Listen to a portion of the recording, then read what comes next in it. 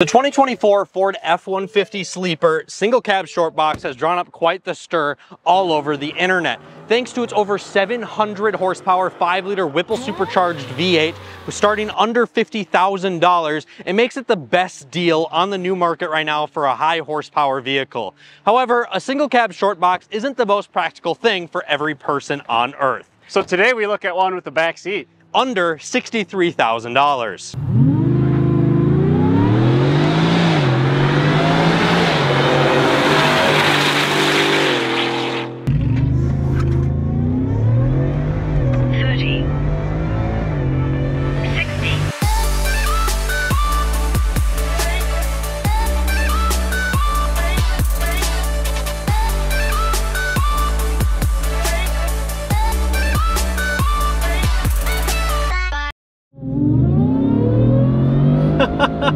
Hello everyone and welcome to Performance on Wheels. My name is Todd. My son, Austin and I, we make all sorts of videos on all sorts of different cars. If you want to join us on our journey, do us a favor and hit that like and hit that subscribe button. Let's see what we get into.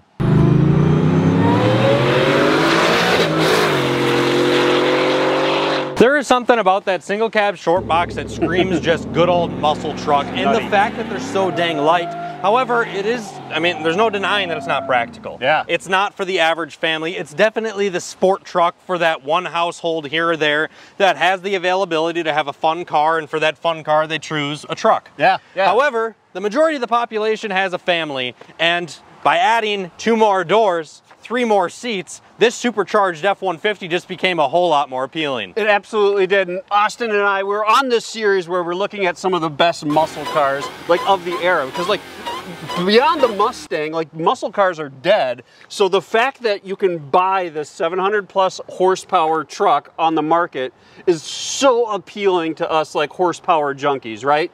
And it's so much fun, like Austin mentioned, that not only can you have like the super sport truck, but you can still have that very similar thrill. Check out the zero to 60 time.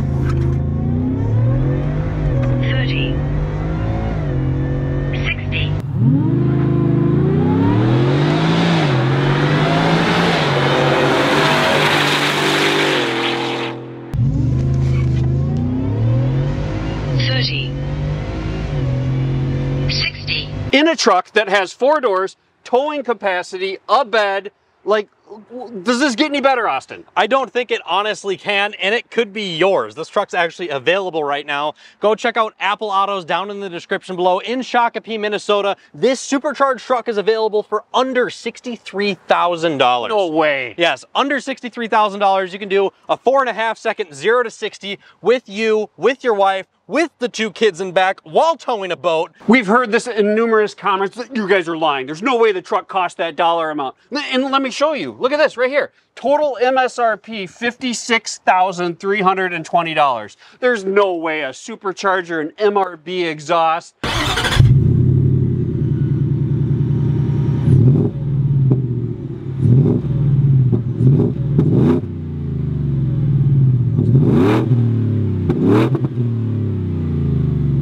and even dropping the rear end a little bit is only what uh, 56,000. Austin said under 63,000. So if my math's right, that's like mm, $6,000 difference. Well, that's because the F-150 is like the time to buy right now with the special incentives that are out there. So like literally this truck with the over 700 horsepower, with the crew cab, with the 4x4, could be yours for under $63,000. That is absolutely nutty. I might buy it myself. I, I don't know what to think here. And the, the- every other truck we've been looking at is in the XL trim, and this is actually in the uh, STX trim. So it's got a couple more options. Let's just let's look at the interior quick. So that means not being an XL that we have like all sorts of fancy stuff in there. Even though on the XL standard we get, you know, blind spot assist, we get the, Yeah. the over 12 inch sync screen, we Lot get the goodies. digital dash. Now we get a little bit nicer seats, we get a few more different touches here and there, these neon yellow accents all over the place. I think the interior stepped up just yet another level over the base. Bit. However, it's still cheap here and there, of course. Like we have our turnkey, we don't have a push button start. But all in all, this is a really nice truck with over 700 horsepower, a warranty, and 63 grand. On the interior for a second, Austin, like because I just have to point this out. Going back to the regular cab for a second, right?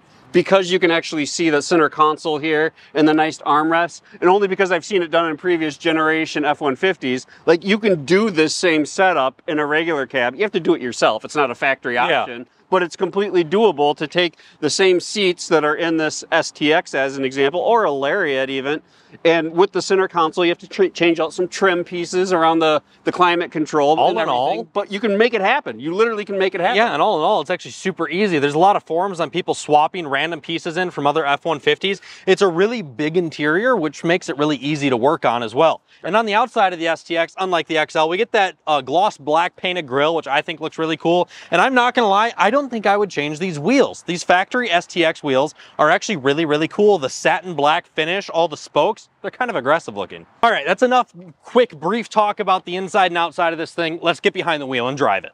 Other than the slightest whine, you would guess that I'm currently driving a stock 5.0 Crew Cab F-150, just like it's been for the last, I don't even know how many years. If you do about 5% throttle, you start to realize this isn't a stock 5.0 F-150 like they've made for many years. And then if you decide, hey, I want to go ahead and I, I, I really want to get around the guy that's in front of me right now, and you decide to put your foot to the floor in this Crew Cab F-150,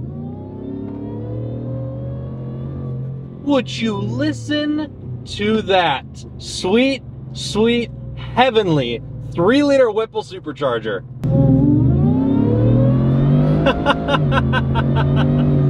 that is just ridiculous. There is no reason a crew cab F-150 should be that quick.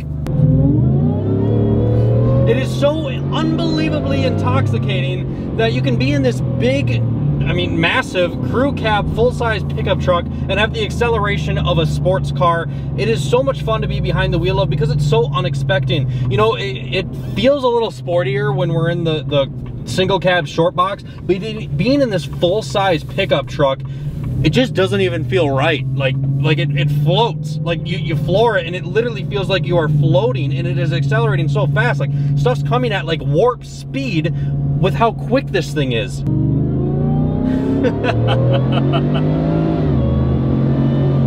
so much fun. These trucks are just fantastic be, to be behind the wheel of. And one of the things that makes them so great, uh, so great of sleepers is they just look completely stock and they can be in any type of form. So what's been very popular, of course, is the single cab short box variants that we've been showing off. But you can get them in these base model, you know, crew cabs, or you can get them in, heck, a super high end or high trim crew cab. You can get them in whatever variant you want. And there's just such good cruisers, you know, because the only thing that's been modified on this suspension wise is they took the block out of the back to drop it down a little bit so it didn't sit raked.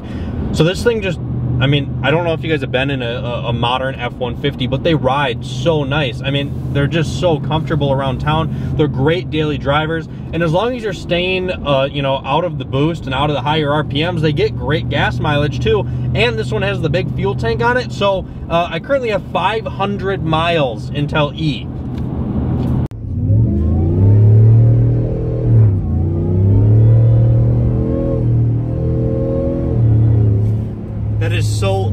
intoxicating. That sound i mean the, the amount of the amount of whine that comes into the cabin is unbelievable.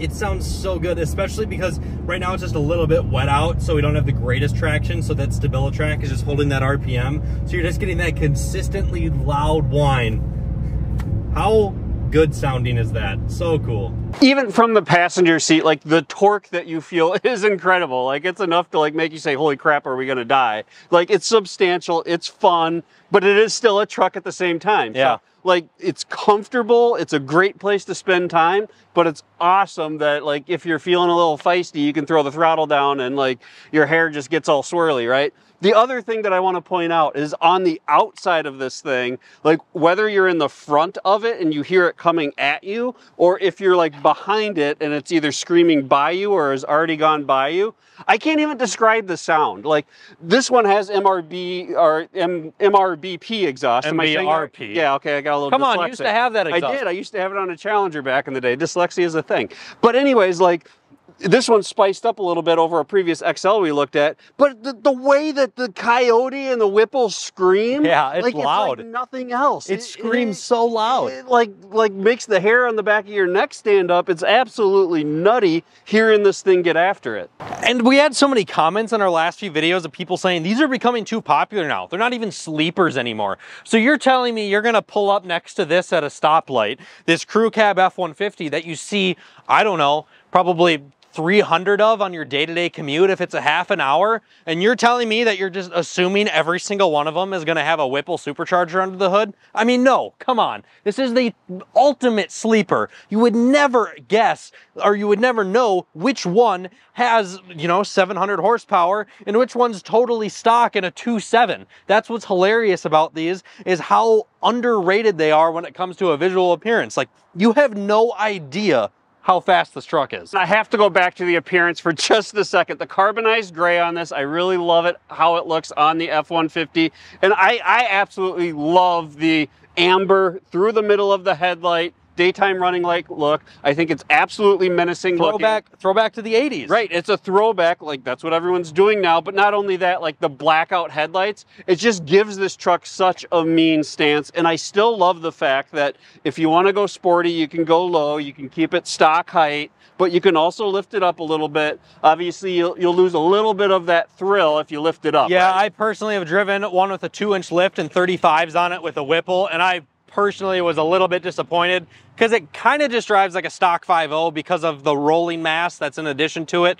Um, it just is a little bit slower. So a little bit disappointed about a lifted one, but a lowered one just takes it up another notch when it comes to speed and performance. The STX is such a sleeper in today's video that like we have like the, the old school like Ford running boards. Yeah. The other things I like are you pointed out the the matte black wheels which look really good, but then we have the exhaust that matches the wheels Mm-hmm. and Ford's new logo that's like black. Like every accent is black. I like the carbonized gray. Obviously we have like the painted bumpers. It's a really cool spec for I mean, I mean, literally without a Whipple on it, it's just a great looking truck in general. And unless they didn't put the Whipple sticker on the outside, you just have no idea. And I love these things. I'm curious what you guys think down in the comments below. If you guys have any questions about the warranty or purchasing one of these, be sure to give this number a call. They'll walk you through everything on ordering one of these trucks. They can do it. I, I think right now order times are like three, four months. However, I think we're on a brief hold because they're waiting for the 2025s to come out. That's just what I heard from the aftermarket team at Apple Autos. But I think that wraps up everything in today's video. We just drove a 725 horsepower crew cab full size truck that does a four and a half second zero to 60. I, I think we could say we drove it to church. I I mean, literally, yeah. Thank, thank goodness for church. Otherwise, we'd be getting soaked right now. Thank you guys so much for tuning into this video here on Performance on Wheels. Really appreciate your support, and let me know what your favorite muscle truck of all time is. Put it down in the comments below. What is your personal favorite off the top of your head?